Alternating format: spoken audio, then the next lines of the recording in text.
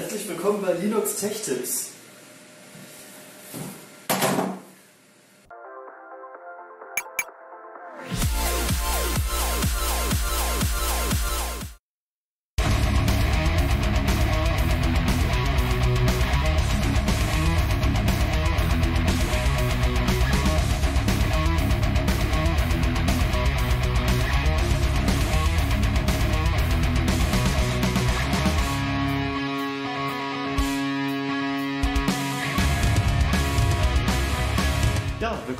Linux Tech Tips.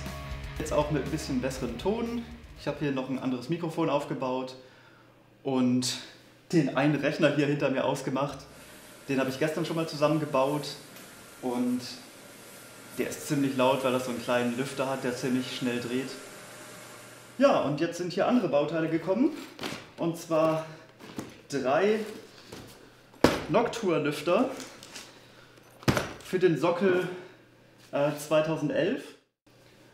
Das ist für Serverprozessoren gedacht und ich habe hier ähm, von eBay so ein paar Prozessoren gekauft. Das hat mich äh, wieder etwas getriggert, dass die ähm, Xeon Serverprozessoren so unglaublich billig sind, wenn die so ein paar Generationen alt sind.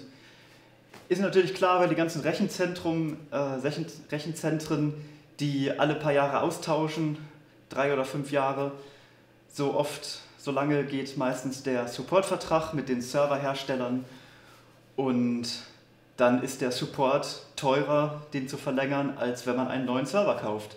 Das ist ein bisschen verrückt, aber das ist so. Und deswegen kriegt man Server, die immer noch sehr gut funktionieren, aber vielleicht nicht mehr so super zuverlässig sind, für ganz, ganz, ganz wenig Geld.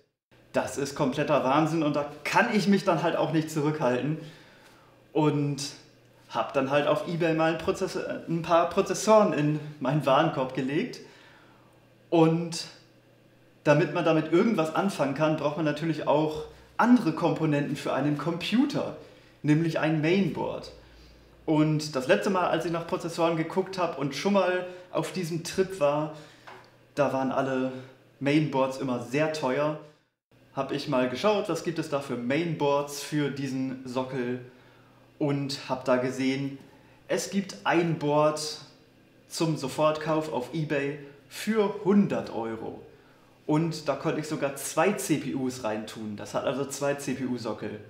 Da habe ich natürlich dann direkt auch zugeschlagen und mir ein Matched Pair von Prozessoren gekauft. Das sind zwei Prozessoren, die aufeinander abgestimmt sind, die 100% identisch sind und die getestet sind zusammen. Das heißt, die funktionieren in einem Computer zusammen und man hat einfach die doppelte Rechenleistung, mehr oder weniger. Die müssen sich natürlich auch so ein bisschen koordinieren, wenn die zusammen an einer Sache rechnen, aber das braucht nur Minimalrechenleistung, wenn man vergleicht, was die aktuell an Rechenleistung haben. Und das ist nämlich kompletter Wahnsinn, denn die CPUs, die ich dafür gekauft habe, die haben 10 Kerne, 10 CPU-Kerne und Hyperthreading, das bedeutet, dass die effektiv 20 Threads haben, jeweils. Das heißt, insgesamt werde ich in diesem Computersystem 40 Threads haben. Da brauche ich natürlich auch Kühler für und deswegen habe ich einfach mal drei Kühler bestellt, weil ich auch drei Prozessoren bestellt habe mit dem Sockel 2011. Nachdem ich den ganzen Kram bestellt habe, habe ich irgendwie gedacht, was mache ich eigentlich mit meinem Leben? Ich brauche das alles gar nicht. Tatsächlich, die letzten zwei Jahre ist dieses ThinkPad mein Hauptcomputer. Und das habe ich angeschlossen an einen 19 Zoll Bildschirm. Immerhin 16 zu 9 Format. Und damit arbeite ich einfach, das funktioniert für mich. Ich komme immer wieder ans Limit von dem RAM, weil ich habe da nur 8 GB RAM drin. Könnte ich natürlich aufrüsten, aber letztendlich ist das gar nicht so gedacht. Tatsächlich habe ich das Notebook nur für Kommunikationszwecke ge äh, mir gekauft, also für Chat und E-Mails schreiben und vielleicht mal Texte schreiben im Blog oder für unterwegs oder halt um da eine Videokonferenz drauf laufen zu haben, während der Hauptrechner davon unabhängig ist und wenn der Hauptrechner mal hängt, hängt die Videokonferenz nicht. Dafür war dieses Notebook gedacht. Ich habe das auch gebraucht gekauft für 170 Euro. War auch ein ganz gutes Angebot. Die gibt es teilweise für 150, aber auch teilweise für 200. Also so dazwischen.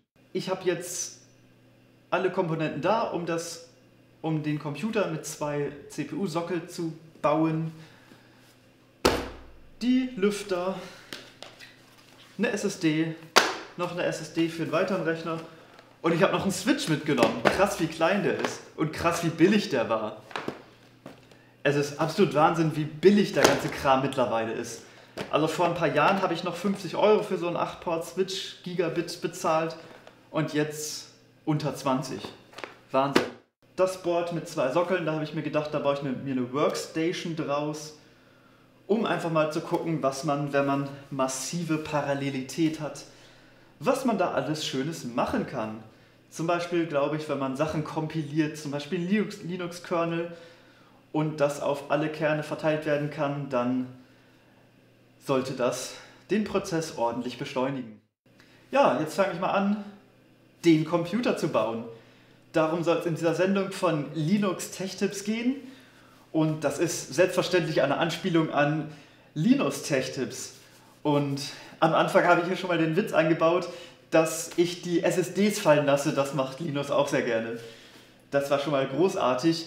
Ich hatte mir gedacht, das wäre cool, wenn das passiert und habe die extra ganz oben drauf gelegt auf diesen wackeligen Turm. Und tatsächlich ist es passiert, als ich abgesetzt habe. Großartig. Ich weiß nicht, ob ich hier noch mehr Gags einbauen kann, dass es als Parodie gilt, aber auf jeden Fall ist das hier mal eine Sendung von Linux Tech Tips. Großartig, das wollte ich schon seit langem machen. Das war ein langes Intro, aber das ist auch ein komplexes Thema, da braucht es ein bisschen Erklärung. Aber jetzt geht's auch schon los mit dem Video. Aber vorher noch das Produkt von unserem Sponsor. Und zwar ähm, Jimmy Joy. Ähm, das ist ein Nahrungspulver oder ein Shake. Äh, das Produkt heißt Plenty Shake und das äh, hat 100% der Nährstoffe, die man braucht, hat äh, 26 Vitamine und Mineralien drin und 100 Gramm Proteine und äh, ist komplett vegan, also pflanzenbasiert. Ähm, hier ist das Pulver drin, da kann man sich einen Shake zubereiten und dann kann man das als Ersatz für eine Mahlzeit nehmen. Ich benutze das jetzt seit fünf Wochen und ernähre mich fast nur noch damit und das funktioniert wunderbar. Äh, ich habe zwischendrin ähm, eine Tiefkühlpizza, mal Nudeln mit Soße und einmal Eintopf gemacht, aber ansonsten habe ich mich tatsächlich fünf Wochen nur davon ernährt und das funktioniert wunderbar. Was ich gerade gezeigt habe, das war das, äh, der Vanillegeschmack. Den kann ich eigentlich jeden Tag essen, weil der sehr neutral ist. Ansonsten gibt es noch andere wie äh, Erdbeer oder Mango. Da muss man wirklich in der Stimmung sein und Schokolade schmeckt mir gar nicht. Ähm, das habe ich sogar wieder zurückgeschickt. Ansonsten gibt es hier noch den Plenty Drink. Das ist direkt zubereitet mit Wasser. Kann man schütteln und direkt konsumieren.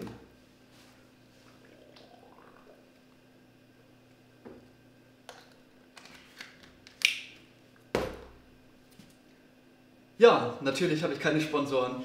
Das äh, war natürlich ein Witz. Ich bin nicht käuflich und das Produkt habe ich mir selber gekauft und bin tatsächlich davon überzeugt, so dass ich jetzt auch ein Abo abgeschlossen habe.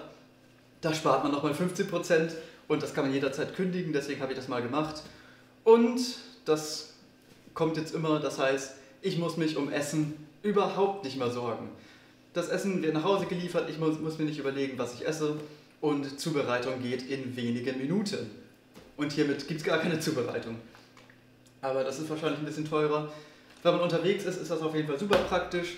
Ansonsten kann man sich einfach den Shake zubereiten. Jetzt geht es aber wirklich los. Und zwar nehme ich das mal als Unterlage hier zum Arbeiten.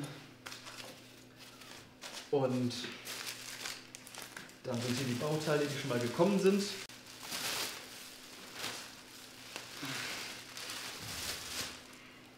So, am besten immer nur am Rand anfassen, das Mainboard. Und das hat 8 RAM-Stecksätze, das ist ziemlich geil. Und ich habe natürlich auch passend 8x8 GB RAM gekauft. War auch nicht so ganz günstig, hat auch 200 Euro gekostet. Aber im Prinzip war es trotzdem sehr günstig, weil die ansonsten sehr viel mehr kosten. So, was hat der Verkäufer hier gemacht? Taschentücher, ja, damit da kein Staub reingerät oder sowas. Nicht schlecht. So, und was haben wir hier? Hier auch wieder am Rand anfassen. Und zwar, wenn das hier so ein bisschen E5 2 6 6 0 E5 2660 V3. So, und dann ist immer die Frage, wie rum gehört das da rein? Ich glaube, das war.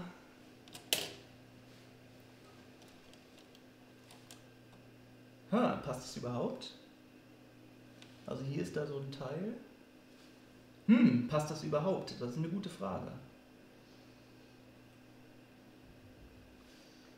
Ich probiere einfach mal. Ah.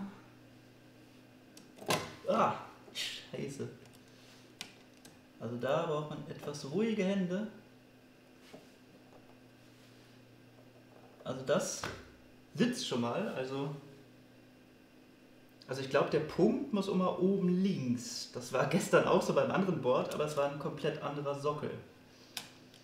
Deswegen bin ich mir nicht so ganz sicher.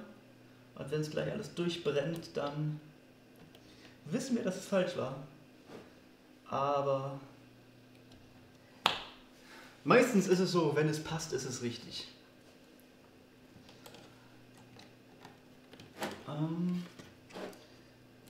das verhakt sich hier ein bisschen, wahrscheinlich weil man den hier erst aufmachen muss. Ja. Und jetzt geht der auch auf. Wie passend, da hat jemand mitgedacht beim Design dieser Hardware. So, hier haben wir wieder so ein Tuch und den anderen Prozessor. Das ist wie gesagt ein Matched Pair. Das heißt, sie sind aufeinander abgestimmt, die funktionieren zusammen, sind zusammen getestet. Und deswegen ist auch das ein E52660V3. Und ist der hier jetzt spiegelverkehrt oder was? Oder muss der auch so rum rein? Also hier sind ja solche Ecken an der Seite, aber hier drauf nicht. Das verunsichert mich ein wenig. Ich hatte so einen anderen Prozessor, da war das so. Aber hier an der Seite sind ja solche Sachen. Egal. Ich probiere einfach, ob es so passt. Wenn nicht, dann... Ah, das geht nicht. Seht da mal. Dann einmal umdrehen. Und das funktioniert. Wunderbar. Ähm, der zuerst? Oder der zuerst? Ja, dieser zuerst. Genau. Andersrum geht es auch gar nicht. Als nächstes den RAM. Sieht man hier irgendwas? 8 GB PC4 2133. Gut. Und auch der RAM passt wieder nur in eine Richtung rein. Die kann man hier so aufmachen. Aber ihr wisst wahrscheinlich, wie ihr einen Computer zusammenbaut, wenn ihr so ein Video hier anschaut. Und wahrscheinlich könnt ihr das sogar besser als ich und seid nicht so ungeschickt. Das hier muss man schon mit ein bisschen Gewalt runterdrücken, dass das einrastet. Und bei diesen Serverboards, da geht das glaube ich auch immer nur in eine Richtung auf. Das ist ein bisschen verwirrend vielleicht. Genau. Der RAM hat hier so einen Schlitz und äh, dieser Abstand ist ein bisschen kleiner als der hier. Das heißt, der, der geht auch nur in eine Richtung rein. Also auch da kann man wieder nichts falsch machen.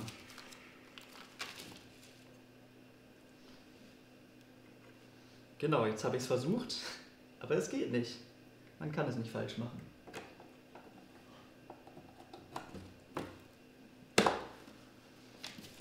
Und wirklich mit ein bisschen Kraft runterdrücken, bis es Klick macht, dann ist er drin. Und wenn es nicht funktioniert, dann habt ihr das irgendwie verhakt und schief reingemacht. Dann auf keinen Fall mehr Gewalt anwenden, sondern nochmal raus und nochmal neu versuchen. Wenn man das ein paar Mal gemacht hat, bekommt man da ein Gefühl für.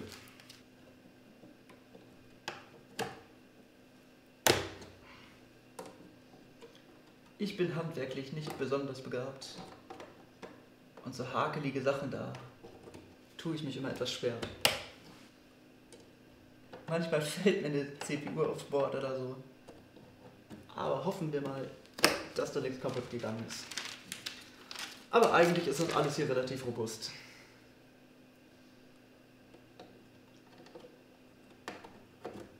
So. RAM und CPUs sind drin. Jetzt brauchen die CPUs noch einen Kühler.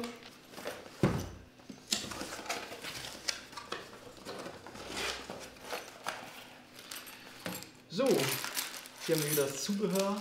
Einmal Wärmeleitpaste, das ist sehr gut. Meine letzte ist leer.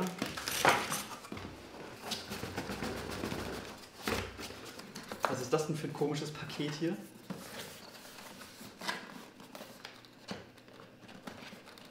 Muss man das so aufmachen? Ah, es ist einfach sehr gut verpackt. Interessante Verpackung. So, der Kühler sollte es nicht auf Sport knallen. Das wäre ein bisschen dumm. Ja, einen schönen eckigen Kühler. Der nimmt dann nicht so viel Platz weg und passt natürlich. Ist nur die Frage, wie rum. Okay, im Board ist die Schrift von der Richtung, dann werde ich hier die Schrift auch mal in der Richtung machen. Vielleicht hat das ja einen Sinn. Hä? Ich weiß es nicht. Ich habe da keine Ahnung von dem, was ich hier tue. Naja, ein bisschen schon. Es reicht, damit ich das hinkriege. Ich habe das tatsächlich auch schon mal beruflich gemacht. Computer repariert und sowas. Nicht unbedingt neu zusammengebaut aber so gebrauchte Rechner und Notebooks repariert. Der ist hier wieder so schön eingepackt. Und auch den wieder mit der Schrift in die Richtung. Gut, dann haben wir hier die beiden Kühler. Hier ist noch ein Plastikstück, damit das hier nicht verstaubt. Und das sind natürlich gebrauchte CPUs, die sind verstaubt. Deswegen hilft das, wenn man die einmal mit Alkohol abwischt. Ich habe hier so richtig olles, verranztes Reinigungstuch, keine Ahnung, wo das herkommt. Auf jeden Fall ist das 70% Alkohol, Rest ist glaube ich Wasser. Und das kann man verwenden. Also, der Plan ist, das hier abwaschen, abputzen damit einmal, dann Wärmeleitpaste drauf machen, dann verstreichen, ganz wichtig, habe ich letztes Mal vergessen. War nicht gut. Das musste ich dann nochmal abmachen. Sehr nervig. Hier habe ich schon mal so ein verbrauchtes Tuch oder verbrauchtes Papier. Es ist immer ganz gut, wenn man das Papier faltet. Das habe ich äh, gestern gelernt von einem Freund. Einfach ein Stück Papier nehmen, falten und dann kann man es damit sehr gut verstreichen. Oder kann ich das hier nochmal verwenden? Ich kann es einfach so machen und dann kann ich es hiermit so verstreichen. Ein schön Oh, schön feuchtes Tuch, bisschen vergilbt schon. Richtig versifft alles hier. Schön. Und der Alkohol verdampft jetzt einfach und überbleibt eine richtig saubere Fläche. Wunderbar. Wärmeleitpaste. Das ist jetzt das zweite Mal im Leben, dass ich, glaube ich, Wärmeleitpaste verwende. Oder vielleicht habe ich das auch schon mal vor ein paar Jahren gemacht. Auf jeden Fall, wie gesagt, ich habe das gestern schon mal falsch gemacht und musste dann alles nochmal neu machen. Oder nochmal verstreichen, also nochmal alles abschrauben. Sehr nervig. So.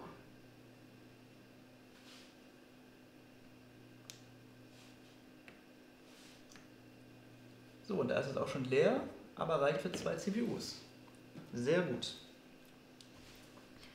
Und dann verstreiche ich das.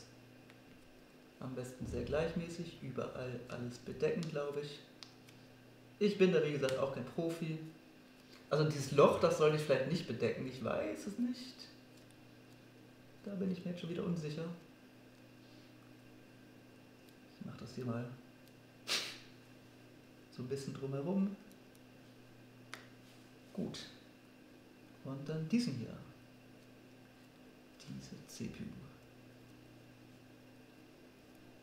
Also wenn man hier so ein bisschen drankommt, das ist nicht schlimm. Da passiert erstmal nichts. Ist halt alles ein bisschen versifft dann. Aber funktionieren tut es trotzdem. So, hier ein bisschen drumherum, glaube ich. Das ist ganz gut. Am Rand so. Nicht direkt ins Loch rein, aber da ist jetzt auch schon was drin im Loch. Ich weiß, wie gesagt, nicht, ob das schlimm ist. So, das ist, glaube ich, sehr glatt hier. Alles schön gemacht. Und dann kommen die Kühler drauf. So. Gucken, dass es gerade raufkommt. Und dann festschrauben.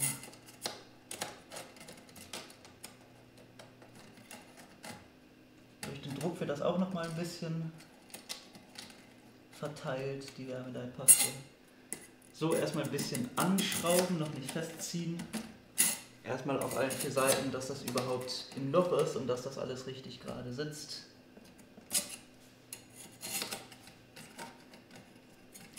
So, das sitzt jetzt schon mal ganz gut. Kann noch ein bisschen fester ziehen, bis man da einen Widerstand spürt. Ah, jetzt ist das auch fest. Jetzt kann ich nicht weiter drehen. Ich glaube, das ist dann richtig. Aber nehmt das hier nicht als Anleitung. Nehmt das von mir aus als Unterhaltung oder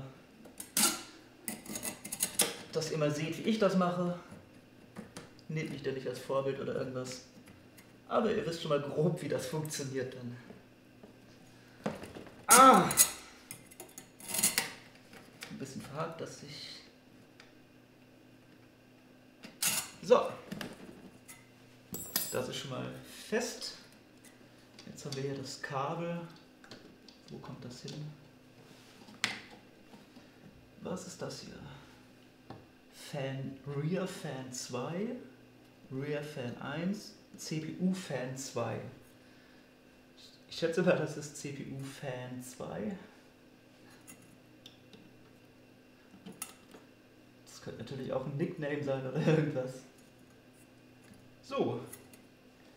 Kann man da vielleicht so ein bisschen darunter machen, dass das hier nicht direkt in den Luftfluss geht. Gut. Und CPU Fan 1 hier. Wunderbar. Und die zweite CPU. Auch wieder gucken, dass die richtig rum ist.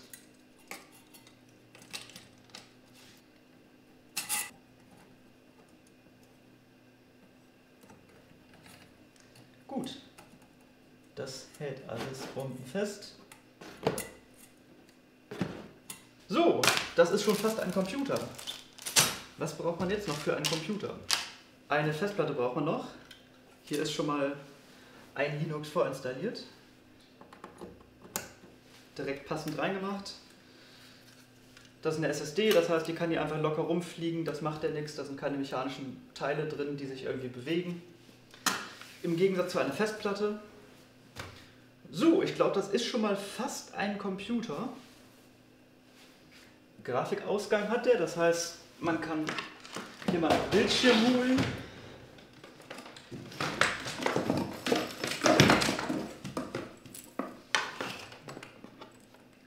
Dann sieht man vielleicht auch irgendwas.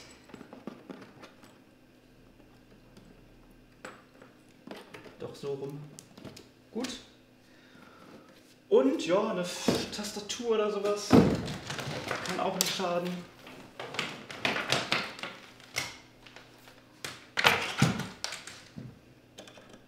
Sogar USB 3, nicht schlecht.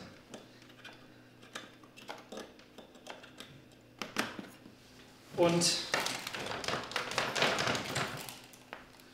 die Maus wird noch mit PS2 angeschlossen. Ich habe gerade keine andere freie Maus. Die anderen sind alle in Benutzung. So. Der Bildschirm hat Strom, aber unser Board noch nicht. Das bedeutet, wir brauchen noch ein Netzteil. Weil zwei CPUs relativ viel Strom brauchen, habe ich hier mal ein 550 Watt. Das sollte vollkommen ausreichen. Puh, was kommt da denn raus? Ganz viel Staub. Wow. Da kommt Schnee raus. Oh, alles in die Tastatur. Puh. Naja, also das, das ist gebraucht. Hat mir ein Freund ausgeliehen, weil das 700 Watt Netzteil, was ich bei Reichelt bestellt habe, das ist immer noch nicht da, weil das gar nicht lieferbar war jetzt. Das braucht irgendwie ewig bei denen. So. Hier ist dieser Hauptanschluss für das Mainboard. Dieser dicke hier. Frag mich nicht, wie der heißt.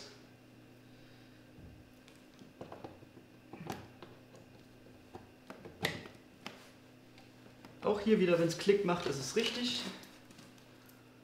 Und dann haben wir hier noch so einen, der passt da rein. Was ist das? Ich weiß es nicht. EATX 12 Volt 1. Mache ich den mal da rein. Haben wir noch einen zweiten. So, hier habe ich noch einen zweiten EATX-Stecker. Keine Ahnung, was das soll, aber ich stecke das hier einfach mal rein. 12 Volt Dummy 1. Hm, braucht man das? Ich weiß es nicht. Aber schaden kann es wahrscheinlich nicht. So.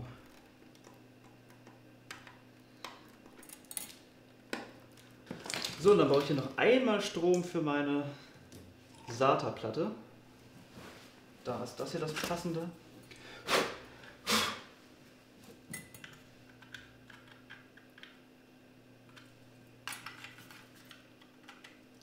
So.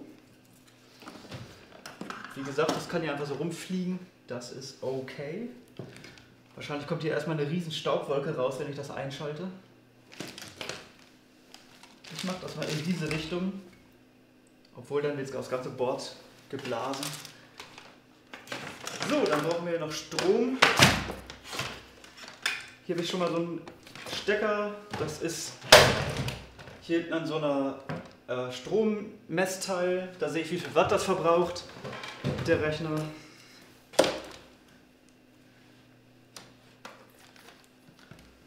So, und dann ist das jetzt im Prinzip ein Computer.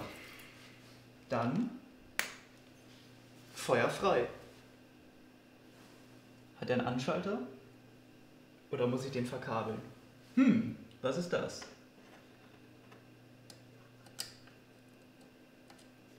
Weiß ich nicht, was das ist.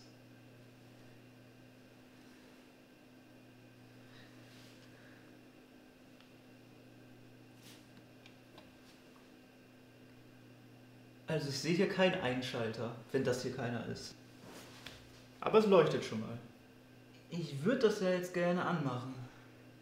Aber ich weiß leider nicht wie. Hm. Da gab es halt auch kein, keine Anleitung dazu. Aber die gibt es natürlich im Internet. Muss ich etwa die Anleitung lesen? Ich habe alles hingekriegt, nur starten schaffe ich es nicht. Das ärgert mich ein wenig. Theoretisch müsste ich nur zwei Pins kurz schließen und dann startet das. Aber wenn es die falschen sind, brennt vielleicht irgendwas durch. Das ist etwas riskant. Das möchte ich nicht machen. Ah, BK Power Switch. Tut aber nichts. Also das Mainboard hätte einen Power Switch, der funktioniert aber nicht. Ja, dann muss ich jetzt erstmal recherchieren.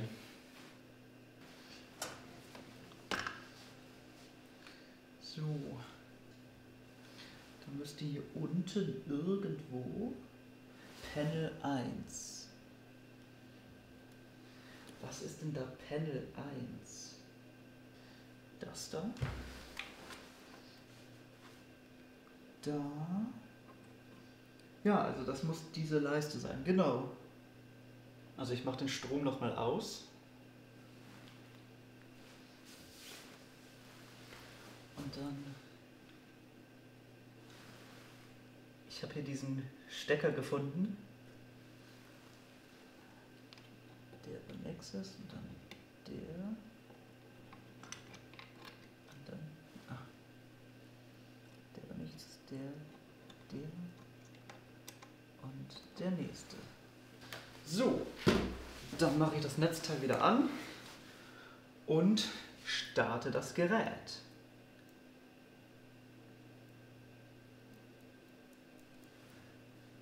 Da passiert nichts. Dann probiere ich mal hiermit.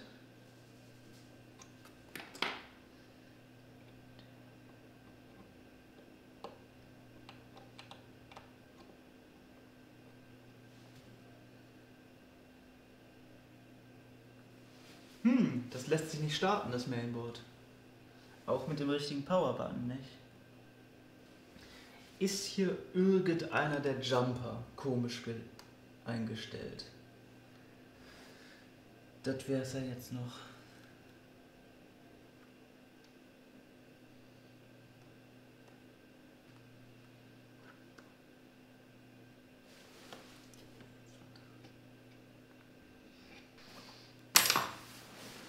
Ach, ich weiß es doch nicht.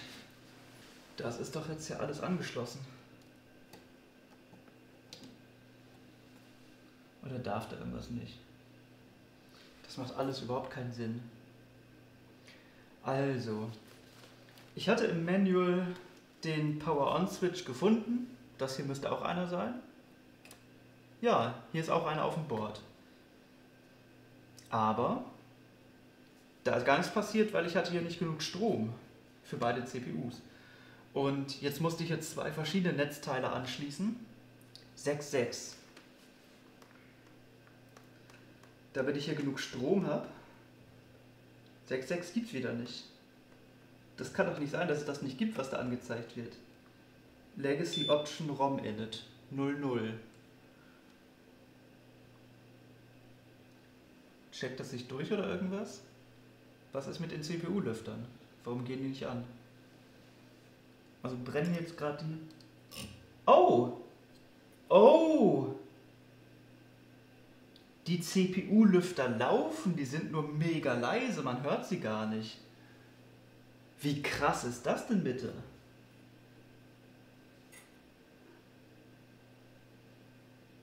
Aber die Lüfter werden irgendwie ganz schön warm.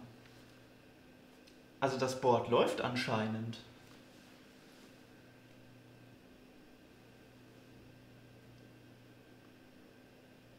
Ah!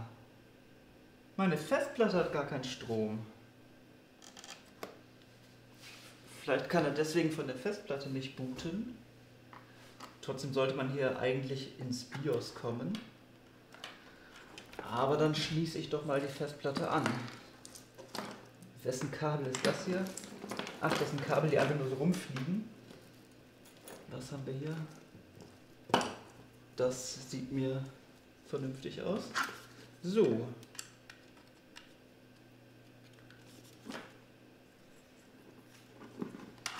Und jetzt booten wir doch mal von dieser SSD.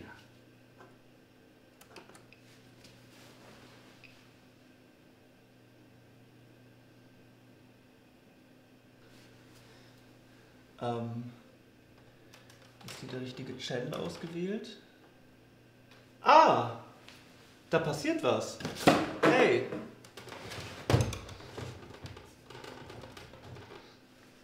Da passiert was. Wow. SSD erkannt. Memory 65.000, also 65 Gigabyte. Und jetzt bootet der. Hey! Wow. Und es wird ein NixOS gebootet. Das ist übrigens meine Lieblings-Linux-Distro. Und das sieht ganz gut aus. Ich weiß nur nicht, warum der Lüfter nicht lüftet. Oder mehr lüftet als jetzt. Aber ich werde gleich mal schauen, was die Temperatur sagt. Dann brauche ich noch ein LAN-Kabel hier, weil hier habe ich das Management-Interface und das andere ist das normale LAN-Anschluss. Klick. Und nochmal. Klick. 00 bedeutet wohl, dass er einfach läuft, der Rechner. Und was haben wir jetzt hier? Passiert da irgendwas? Oder hängt er jetzt? Das scheint noch zu laufen. Also hier kommt schon ziemlich warme Luft. Oh, der wird ziemlich warm. Ähm, also hier habe ich eine Konsole, grafische Oberfläche scheint etwas Probleme zu machen. Like, um, Password, Sensoren, 60 Grad, Glück vielleicht noch, 90 ist critical, aber es wird hier halt schon ganz schön warm, was hier in Luft rauskommt. Aber sehr, sehr, sehr warm. Da verbrennt man sich ja schon.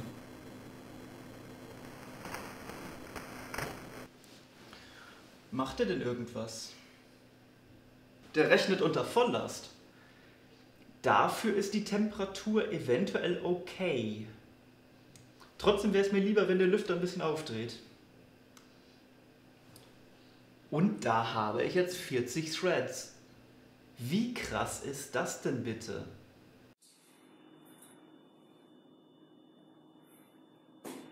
So, jetzt läuft der Rechner. Grund, dass er gerade nicht gestartet ist, war, dass ich hier einen eATX-Stecker bräuchte für das Netzteil. Aber davon habe ich nur einen.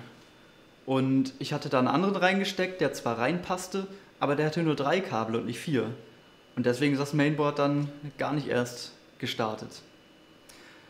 Wenn ich den, äh, den einen weglasse, dann funktioniert es jetzt. Dafür musste ich allerdings das gesamte Handbuch durchlesen und das hat ein paar Stunden gedauert. Ja, wie gesagt, jetzt läuft der Rechner und er rechnet auch ganz gut. Temperatur bleibt so bei 70, 80 Grad, das ist noch voll im Rahmen. Dann schauen wir uns jetzt nochmal die Preise der Komponenten an. Das Mainboard von Asus habe ich wie gesagt für etwa 100 Euro gebraucht gefunden. Neue Preise habe ich zwischen 610 und 1100 Euro gefunden. Also ein sehr gutes Schnäppchen. Die beiden Intel-Prozessoren sind ein Matched Pair. Das bedeutet, dass sie 100% identisch sind und aufeinander abgestimmt sind. Ich habe sie bei eBay für 200 Euro gefunden, bei einem Händler aus China. Ich habe nicht so viele neue Angebote gefunden, weil sie auch schon etwas älter sind, nämlich von Ende 2014. Das heißt, die CPUs und das Mainboard sind etwa 5 Jahre alt. Die Angebote, die ich gefunden habe für die CPUs, waren etwa 1500 Euro einzeln. Das heißt, als Matched Pair würden sie mindestens 3000 Euro kosten. Ich schätze aber nochmal 10% mehr. An der Kühlung wollte ich nicht sparen, deswegen habe ich mich für Noctua entschieden. Mit denen habe ich schon sehr gute Erfahrung, was die Kühlleistung und die Qualität angeht. Zwei neue Kühler haben zusammen etwa 110 Euro gekostet. Beim RAM habe ich ebenfalls ein sehr gutes Angebot gefunden, nämlich 8 8 GB Riegel für zusammen 200 Euro. Neu kostet ein Riegel etwa 100 Euro, was zusammen 800 Euro macht. Bei SSDs gibt es nicht wirklich gute gebrauchte Angebote, weil die Technik sich so schnell weiterentwickelt und die neuen Artikel sogar günstiger sind als die gebrauchten. Deswegen habe ich hier eine neue SSD gekauft mit 500 GB für 74 Euro. Das ist, würde ich sagen, auch ein gutes Angebot. Beim Netzteil habe ich mich für einen Be Quiet entschieden. Damit habe ich auch schon sehr gute Erfahrungen. Die sind sehr langlebig, funktionieren zuverlässig und deswegen kann man hier, glaube ich, auch ganz gut gebraucht kaufen. Ich habe da etwa die Hälfte gespart, nämlich 35 Euro im Vergleich zu 67 Euro neu. Ich habe also insgesamt für dieses Gerät etwa 719 Euro bezahlt und wenn man alle Komponenten neu gekauft hätte, hätte es etwa 4661 Euro gekostet. Ich habe also etwa 4000 Euro gespart. Du fragst dich jetzt vielleicht, Moment mal, im Titel steht doch unter 500 Euro. Das sind jetzt aber über 700 Euro. Okay, dann schauen wir mal, wo man hier noch sparen kann. Nachdem ich die Komponenten gekauft hatte, hatte ich ein Review zu diesem Mainboard angeschaut und dort wurde es mit einem anderen Mainboard aus China verglichen. Das habe ich mir dann auch nochmal angeschaut und das gab es ebenfalls für 100 Euro, allerdings neu. Das hatte den interessanten Namen Neue X99 Dual Computer Motherboard LGA 2011 CPU REC DDR4 Speicher Essen Huhn Spiel. Den Artikel habe ich so bei AliExpress gefunden. Das Witzige ist, dass sie die Seite auch auf Deutsch anbieten und scheinbar alles automatisch übersetzt haben. Ich habe keine Ahnung, was das vorher war.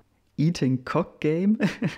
Im Englischen heißt es Eating Chicken Game. Vermutlich war es aus dem Chinesischen übersetzt und da macht das irgendeinen Sinn.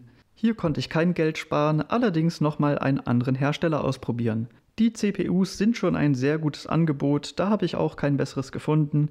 Deswegen habe ich einfach die gleichen CPUs nochmal bestellt. Für einen Kühler habe ich auch nochmal bei AliExpress geschaut und tatsächlich einen gefunden, der sehr gut aussah.